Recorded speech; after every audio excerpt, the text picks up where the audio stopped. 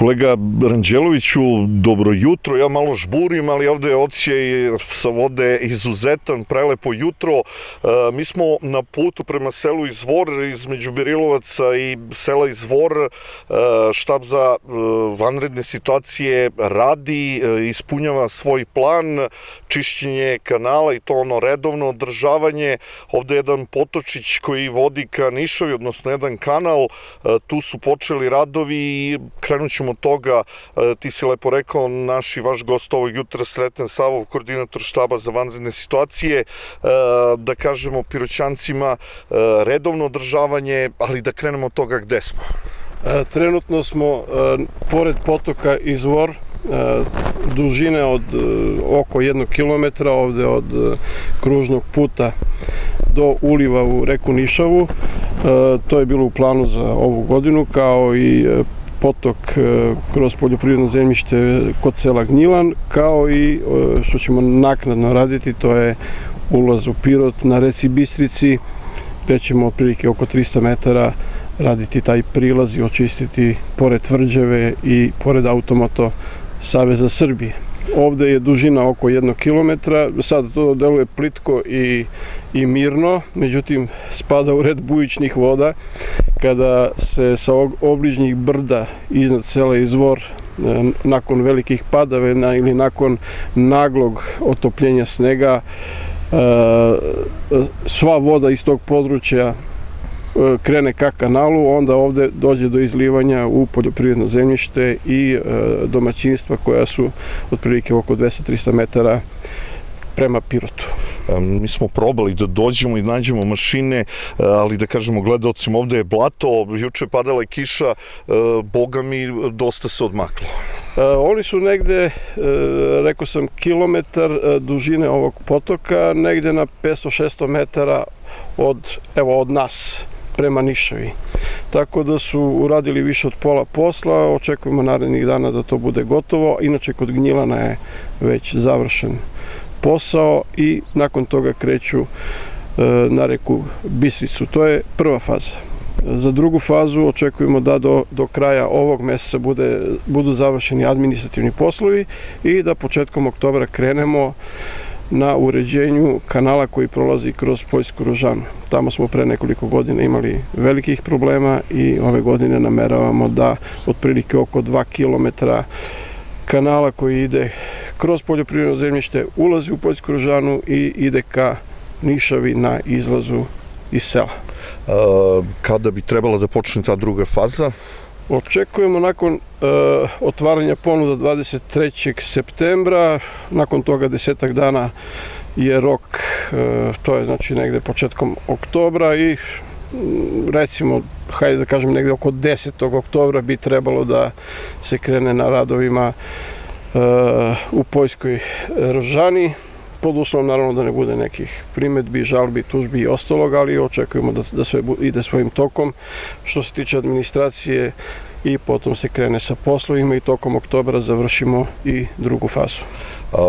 Da vas pitam i za ovaj kanal da ne bude zabune ko bude gledao i ovo uključenje i prilog ove godine se radi tamo do mosta na putu a već se planira i naredna sezona e, da se nastavi uređenje. Upravo, upravo ovih dana radimo plan za narednu godinu i to će biti jedan okvirni plan koji će tokom vremena i izradom operativnog plana naredne godine da bude precizno definisan šta se radi.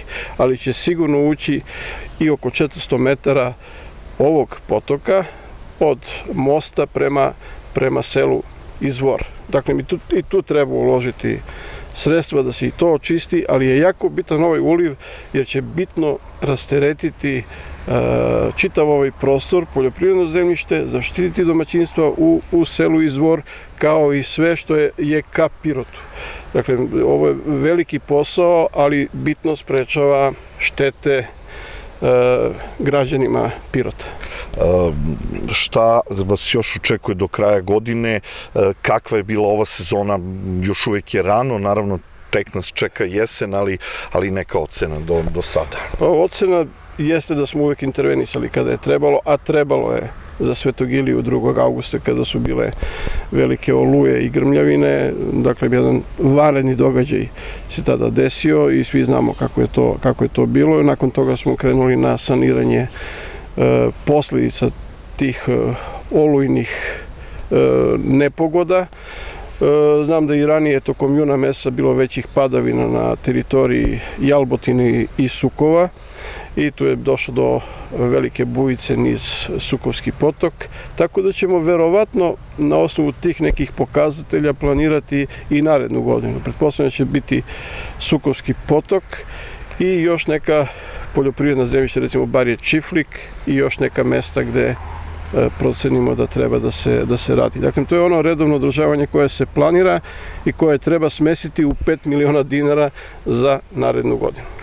E, kolega Denković juče snima odron na putu prema toplom dolu, e, pretpostavljam da do štaba da dolaze i takve informacije, ali to su veliki projekti, mnogo sredstava, pretpostavljam da tu mora da se priprema i dokumentacija, da nije lako uvek reagovati. Pa to sad trenutno nije iz mog direktno sektora, ali to je, jeste na, na teret lokalne samouprave i treba uvek tragati za rešenjem da se do toplog dola nađe adekvatno rešenje da može da bude yes. infrastruktura onakva kakva treba da bude bezbedna, sigurna, da se može stići do, do sela Topli do Izaskovci. Krenulo se preko Zavojskog jezera, ali potrebna su velika ulaganja Republike Srbije i elektroprivrede Srbije na tom delu, ali ujedno treba raditi na održavanju ove opasne deonice, to je mokra stena ka, ka selu Topli do, gde dolazi do odrona zemljišta i gde treba redovno održavati, što iziskuje velika, veliko angažovanje, velike troškove, ali to mora da se radi i da se sanira. Jasno. A, I sad da pitam prema toj projektnoj dokumentaciji, kako se već kaže, kada se planira završetak radova ovde i kolika sredstva su u pitanju ili to ne može da se kaže pojedinačno za svaki posao? Pa ove godine znači, imali smo 5 miliona za održavanje kanala. 2,5 je miliona je prva faza, to su ova tri koja sam rekao, evo to je izvorski, deo izvorskog potoka, deo Bistrice i potok kod Gnjilana.